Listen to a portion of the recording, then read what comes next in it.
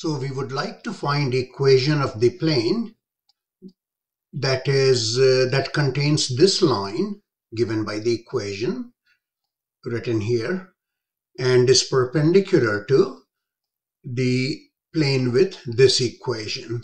All right? So this is the plane that we would like.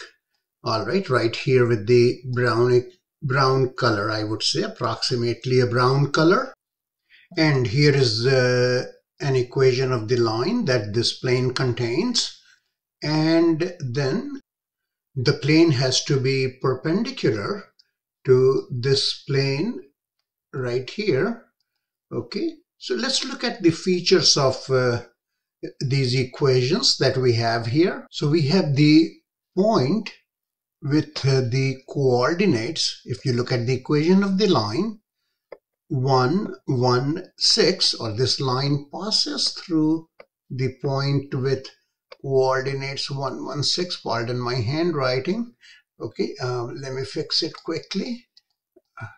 Sorry about that. 1, 1, 6 and is parallel to the vector with uh, components what? 1, then here you have 2 and then the third component is 1 so this line uh, this line contains this point and consequently the plane contains the point with coordinates 1 1 6 and is uh, the line is parallel to the vector with coord with components 1 2 and 1 and in addition we have uh, this that uh, this uh, plane the blue plane which is perpendicular perpendicular to our desired plane that is normal to the vector with components 1 3 negative 1 that we obtained from here from the equation of this plane. So how do we find the equation z equals ax plus by plus c? So to find the equation of uh, this uh, plane, let's take a point P here with coordinates X, Y, Z. I just wrote it up beforehand because of my handwriting. Okay, and then we shall find a relation between the coordinates X, Y, and Z. So what we can do is first let's just form stuff with whatever we know. So that is, let's form this vector here. Okay, so this is a vector in this plane and the line that the plane contains, we know it's parallel to this vector. We're just optimizing everything so that we can work with minimum information. So I got these two vectors whose cross product, uh, let me first write the components of this vector. Uh, here my one got overwritten anyways. So components of this vector will be x minus 1, what do we do? We just subtract the uh, components of the uh, the terminal point, uh, sorry, component of the initial point from the terminal point. So we got x minus 1, y minus 1, and then z minus 6. This comma looks bad, so z minus 6. So this is a vector contained in the plane and the line that is contained in the plane is parallel to 1 to 1 or this vector 1 to 1 is parallel to our given plane. So what that gives us is this. The cross product of this uh, vector that we formed in the plane and uh, this vector that's parallel to the plane. So this would be what? This will be perpendicular to our plane or will be normal to our plane okay? Now our purpose is to form an equation. So and we don't have an equation yet. But remember this there is one another tool or another information that we have right here that 1 3 negative 1 this vector is perpendicular to this uh, blue plane and that is perpendicular to the plane that we want. So as a consequence what will happen this vector right here will be parallel to our plane, the plane that we want, whose equation we would like to derive. So what we got is that uh, this vector here is perpendicular to our plane, the desired plane, and this is parallel to the desired plane. So the dot product of this vector with this vector will be 0. That is, we have, if we look at this, I just typed it up before for handwriting problem. So if we take the dot product of these two vectors as I indicated here, that will equal 0. And uh, now what we have? Now we have an equation in x, y, and z that we can simplify by using a scalar triple product or we can do it longhand, whichever way you would prefer. So now that we have obtained our equation, but in case you want to simplify it using like, you know, with me, then I'm just going to go ahead and recall for you how to calculate these scalar triple products. And we can just use a shortcut instead of doing it longhand. That is, uh, if we bring it in here from our OpenStax uh, textbook that we have for free, uh, note this, that, you know, this is a shortcut. Just take the uh, value of the determinant formed by whose rows are formed by the components of the vectors and here using the property that uh, we can interchange the cross and dot in this manner what we can do is that we can calculate our cross product or scalar triple product in the following manner that we will uh, just form the determinants with, with these components as the rows of the determinant. And you know how would we obtain a value of this determinant? Let's expand it according to the uh, first row. So what we have is I'm going to do that in a, just write it out just in case you forgot how to do that or you should not have forgotten because we are doing the cross product anyways and I'm writing it out again if you don't mind. So we got this. Now we'll switch the signs and then uh, with that we have uh, y minus 1 here and then we will have the uh, uh, determinant. What we will do is that we shall just delete this one which I'm going to let the computer delete it. Okay, so here it's out and then we have the last part that is uh, plus z minus, uh, 6. Okay, so we got z minus 6 here and then again the determinant and now we will take these two here. Okay, so we got these and that becomes equal to 0. And I don't know why I wrote it at right hand. Is this okay? We can just keep it like this. Now look at this determinant, how much this will be. Negative 2 minus 3 times 1 that is negative 5 so what we get is we get negative 5 times x minus 1 all right. And uh, just a second. And then we have uh, minus, uh, y minus 1 Okay, now we are going to bring the, bring in the coefficients. What is the coefficient? 1 times negative 1 is negative 1. Then we will have negative 1 times 1. That will become negative 2. So negative negative will become positive and that becomes a 2.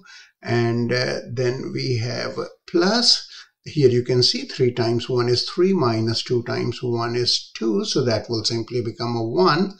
So the coefficient of z minus 6 is simply how much?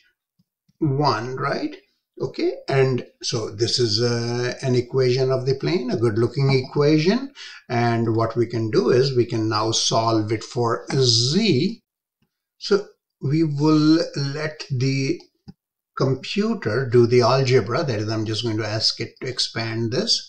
Okay, so what uh, we got here is that uh, here we go and now we will just move everything else to the other side okay now before we do that why don't we just make sure that we got a you know plane that we wanted so let's just quickly rewrite it in like just uh, in a typical form so that uh, we have a and I'm just moving 3 to the other side and here is the plane and we wanted these two to be perpendicular. So if you look at the, here is a normal vector for the uh, first plane okay? So that is negative 5 2 1 and for the second one what we got is okay we got this uh, 1 3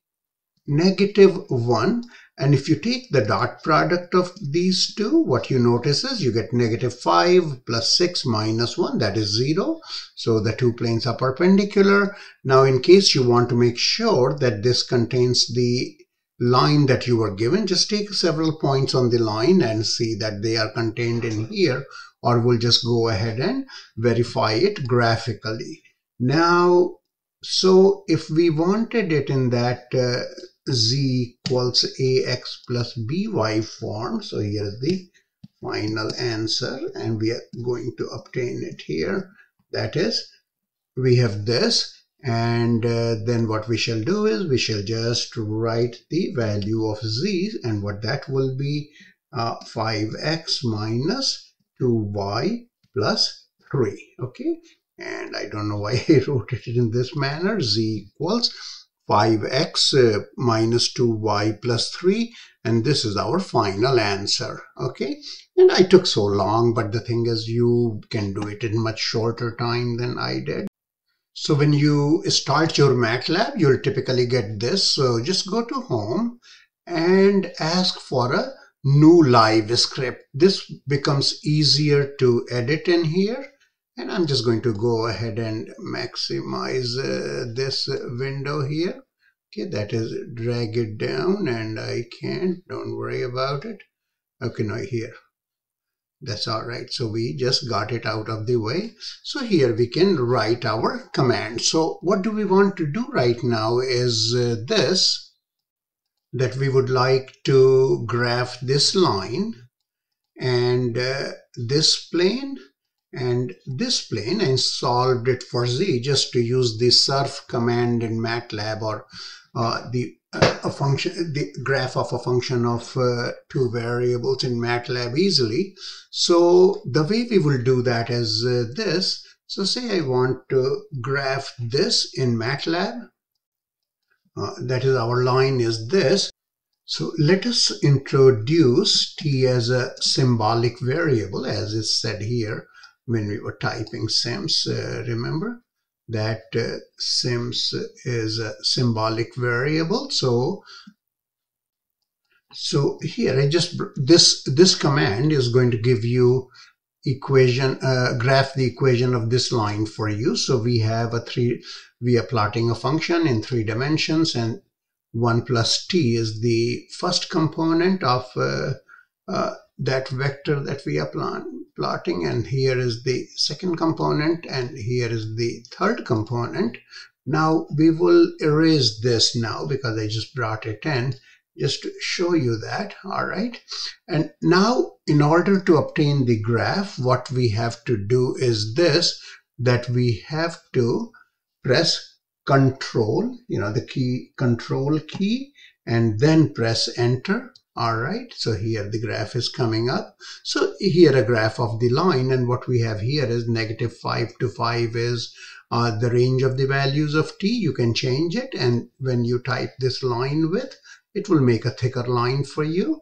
All right, so I just copied and pasted instead of just making spelling mistakes. Now we are going to plot the other two planes. So I will first say hold on so that it hold on, holds on to the graph of the line that we have.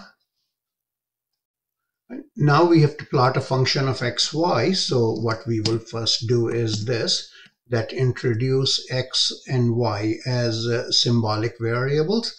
And then which function do we want to plot? We want to plot this function here, z equals uh, x plus 3y minus 8 if you remember okay? And for that what we will do is i'm just uh, bringing that in here for you again to avoid my spelling mistakes and or uh, syntax errors okay?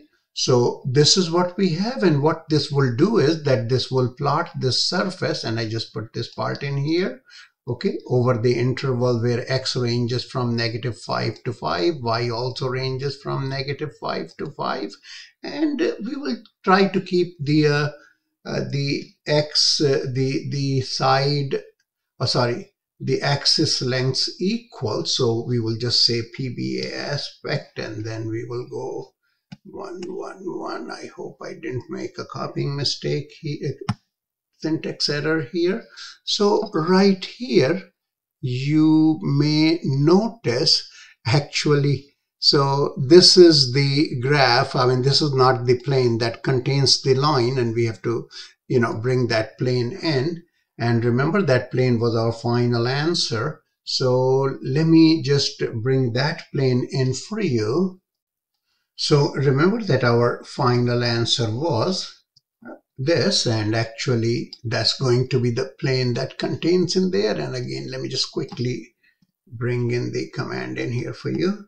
And again we are just uh, you know plotting a surface a function that will give us a surface. And the function is given by this expression and these are the ranges of x and y values. So I'm going to press control enter again. And here is a graph that it gives us. Now you can see that uh, the plane that we have that contains the line. And this is the other plane which is perpendicular which we also verified algebraically. Okay? Now in case you have to you have to give a copy of this graph to me as an answer to an assignment you can say copy output. Okay? And then open something like a word document. And then here you just go ahead and paste it here